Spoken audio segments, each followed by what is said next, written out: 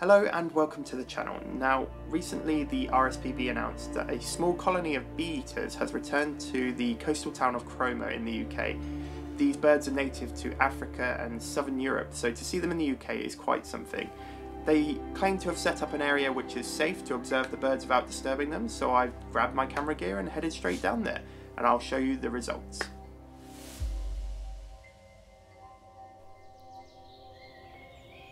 Welcome to the picturesque landscape of the UK. With its open grasslands and densely packed trees, it provides a haven for wildlife. An abundance of rainwater collected in lakes and rivers is the beating heart of this green and vibrant landscape. But as our climate gets warmer, we're starting to see visitors from further afield.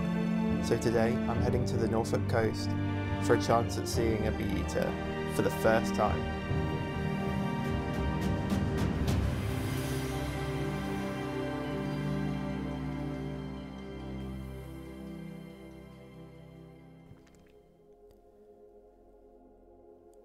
If you're like me and you live in the UK, then you're never actually more than 70 miles from a coastline.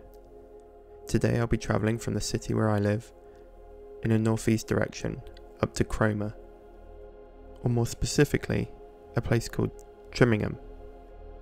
These somewhat exotic birds have chosen a disused quarry in a small village as their nesting site. When nesting, the birds will dig a burrow into a sandy bank, so the quarry kind of fits the bill.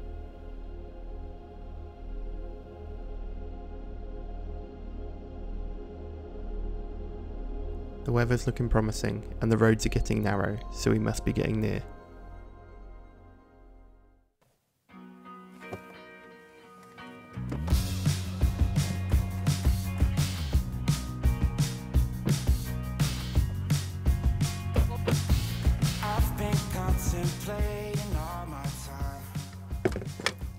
So we have just arrived at the RSPB Bee Eaters site.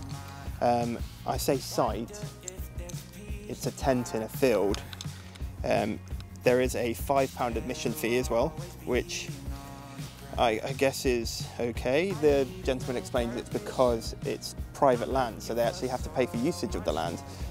So interesting to find out where that money goes. Be um, be quite an interesting conversation topic, I imagine. But yeah, we've arrived. There's a few people down the bottom. Apparently they were here this morning, but haven't been seen since. So I'm hopeful. It's really windy, which is why I've got this.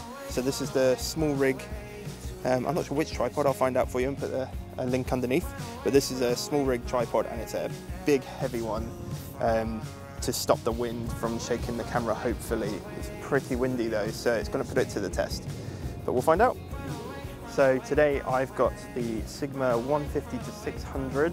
Um, this one's a sport, so it's a bit heavier than the contemporary, but if I was honest, the only difference that I found is that the Sport has a, a smaller minimal focal range so you can do some macro stuff on it. Um, so if that's not something that interests you, the Contemporary is another option. Then I've got the FX30 with me and I also have the R4 for taking photos. So I'm going to try and do both. But from the photos and video I've seen online, these are really far away. So I'm thinking the FX30 is probably going to be the winner with a crop sensor. And then if I put it into 100 frames, I can crop even further because if they're really far away, it's going to be tough to get a good shot of them. But here's hoping.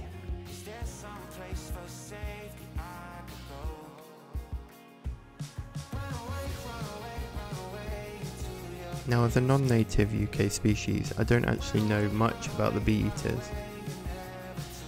I'm not sure on their flight patterns or what to look for as signs where they might be.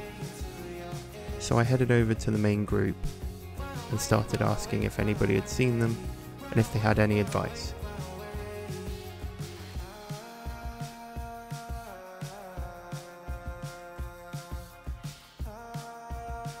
The people around were fairly friendly and seemed to know roughly where the birds would be coming from. So I set up my camera and had to make my tripod super high to get over these bushes.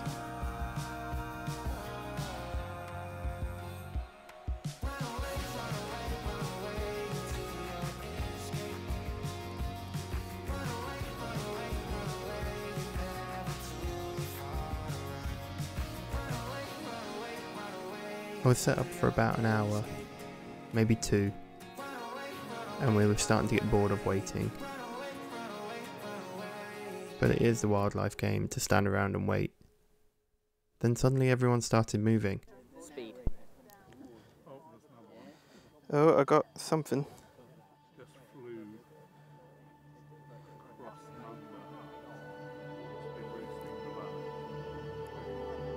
So we've been told that there are bee eaters on the power lines which are about probably a half a mile that way.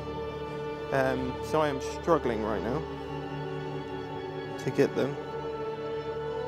So still searching for them. Hopefully I'll find something in post. I know they're on the power line so that's making it easy to focus because I just focus on the power line and follow it along. It's a really horrible feeling when everyone around you can see what you're supposed to be looking at, but you still haven't been able to find it. Have they still got it?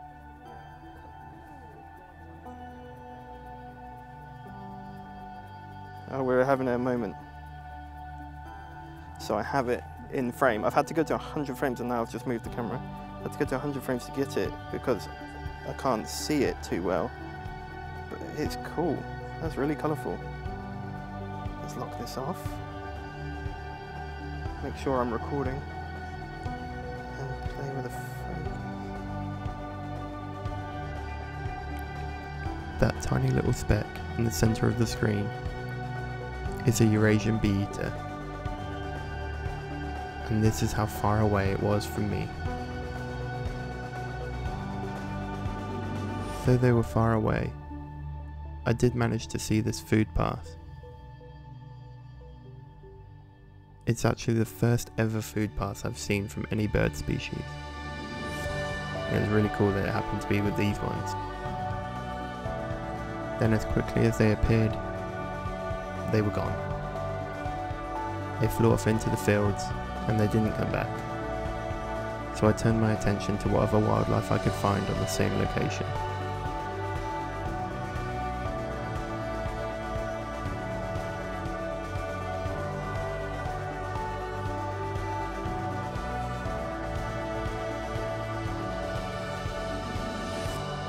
There wasn't a lot, but enough to keep me busy for another half an hour.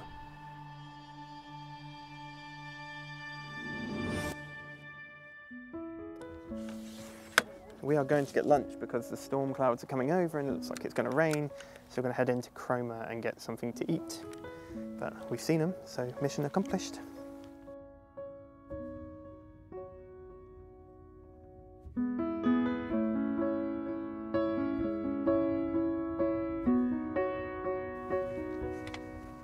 Oh, here comes the rain. What's that for timing?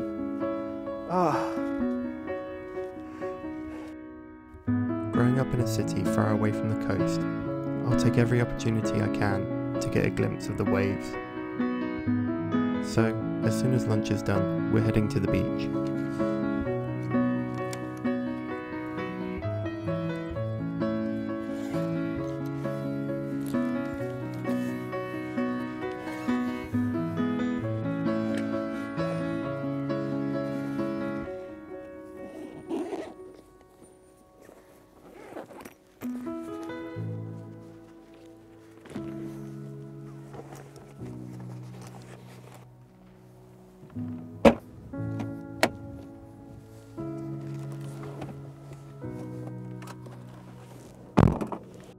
After driving through the rain, it seemed to stop immediately as soon as we got to Cromer, and we were greeted by a kestrel. Not a bad start. As we navigated our way down the cliffside, I managed to spot a seal, and then it disappeared under the waves and I didn't see it again. I headed down to the beach anyway and sat down and just took it all in. In times like this, I like to reflect on why I started my wildlife journey in the first place. And it's simply for peace away from a busy life. I'm pretty sure I found it on this trip. If you've enjoyed this video, hit subscribe because I'll have more episodes of the climate series coming up soon. Thanks for joining me on this journey.